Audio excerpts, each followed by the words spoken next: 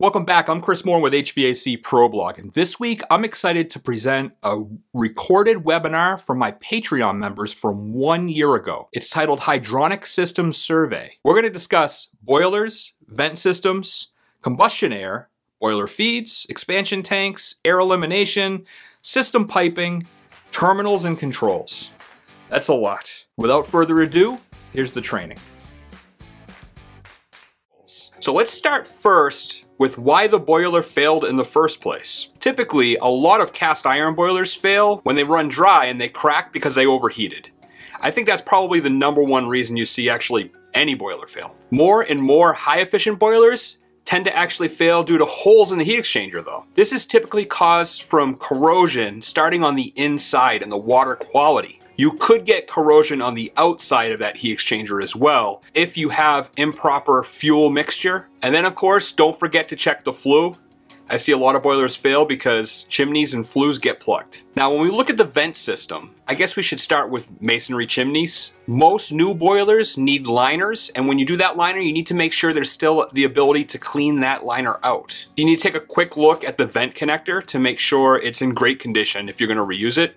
Most of the time, this gets replaced with a new system. All chimneys need to meet the National Fuel Gas Code, the NFGC code. When there's exterior chimneys that are made out of metal, you need to make sure there's no blockages and it's in good shape and secured correctly to the building. Obviously, all those joints still need to be gas tight and it shouldn't be running through heated areas. Of course, still needs to meet code. When we talk about combustion air, the NFGC code actually establishes how much air you need based on the BTU of the boiler you're installing. If you don't have enough space, then you're going to need to install some mechanical ventilation or what we affectionately call in the trade a fan in a can. What a lot of people miss is when the boiler was put in, it most likely was accounting for all of the leakage, let's say in the unfinished basement. But what happens when you finish that basement off after the fact. Now you may not have the combustion air you need for that existing boiler. So was the home tightened? That's a big deal. And if you don't check this, when you're going to do a boiler replacement, you can't just assume that the amount of air that was there for the old one is still correct, even if you're replacing like for like. A lot of people just find ways for a direct vent system to go in at that point.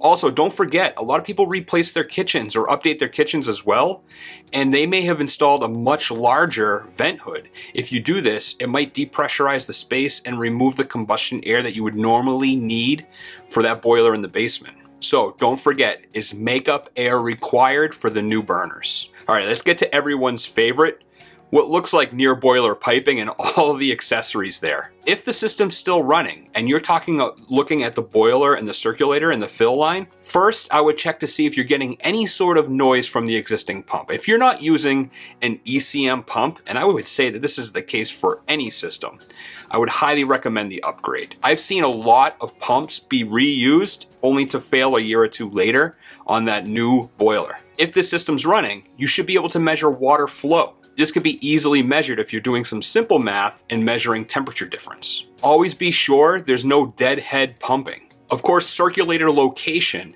can lead to uh, the boiler failure in the first place. You should be pumping away from the expansion tank. That's the point of no pressure change. And also the same spot where you should be attaching your fill. Water pressure reducing valve, and of course a backflow. Don't forget, check the water quality and see if you need to do any softening for that system as well. And what if you need glycol? A very important check to do when you're doing your hydronic system survey before you provide that new system quote. When you're working with a steam boiler, it's really important to check that fill line and the water feed. If it's gravity or single pipe, you're going to want to make sure that that condensate return is sufficient for the new boiler. So if you're working on a very large boiler or commercial application, you're want to make sure that that auto fill is correctly piped and properly sized for the system. And even if you're not, even if this is a smaller residential unit, like this one at my house, highly recommend you install a water feeder. If you have 30 gallons in one year going into that steam system, I'm willing to bet you have a lot of leaks and that system's running a lot.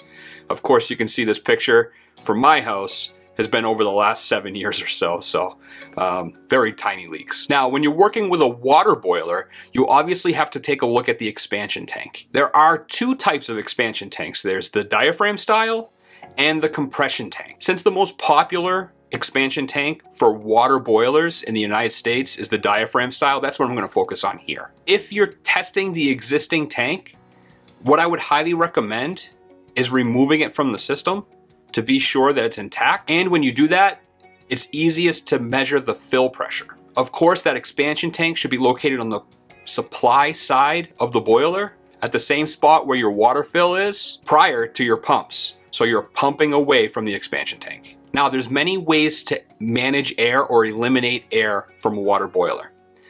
The most popular one I've seen these days are elimination systems like Spirovent. That happened to be my personal favorite. Of course, you could use traps, especially when it's located far away from the air elimination Spirovent. In that instance, you need to make sure there's air vents located on those far away radiators. Because new high efficient boilers tend to need more gallons per minute, I typically removed all boiler piping from the ceiling of the basement down. This just allowed me to pipe and size all of that for the new boiler. I could easily locate all of my pumps and make sure they're on the right spot in the near boiler piping.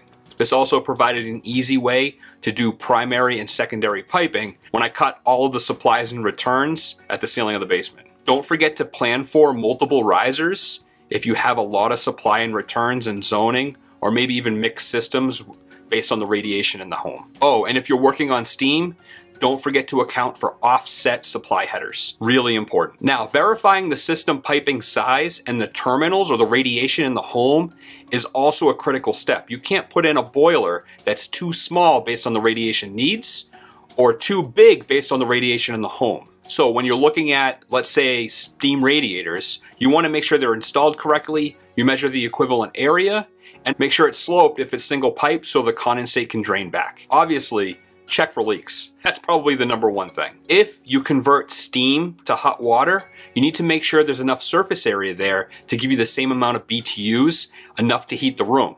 So this means a room by room load calculation is needed along with measuring the EDR of that radiator. If you're working with panel rads, you need to verify that temperature. Just because you want to run it at, let's say, 120, doesn't mean you're going to get the BTUs needed out of that panel rad. Take a look at all of those baseboards, make sure they're clean, you have enough equivalent feet, that it's sloped, and air traps are installed where needed. Now controls is another whole animal.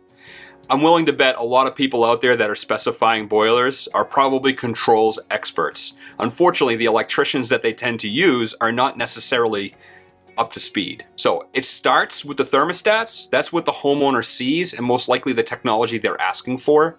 But you need to also take a look at zone relays, pump relays, and of course valves. All of these items are in a very simple checklist located on the back of ACCA Manual RHH, Residential Hydronic Heating. I highly recommend if you're doing boilers and boiler replacements on a regular basis, go out and get a copy of this. It has many resources inside this hundreds of page document. And like all ACCA manuals, it's peer tested and reviewed. So they learn the hard way not you. So, what did you think of the overview on hydronic system surveys? I'd love to hear your feedback below. It's not something that I've worked on personally in quite some time. Obviously, it's a big part of the residential contracting business here in the Northeast. If you like this training and you'd like to see more like this one year in advance, head over to my Patreon page where you can unlock last year's worth of videos and two previous years worth of written blogs for as little as $8 a month. Never mind the higher tiers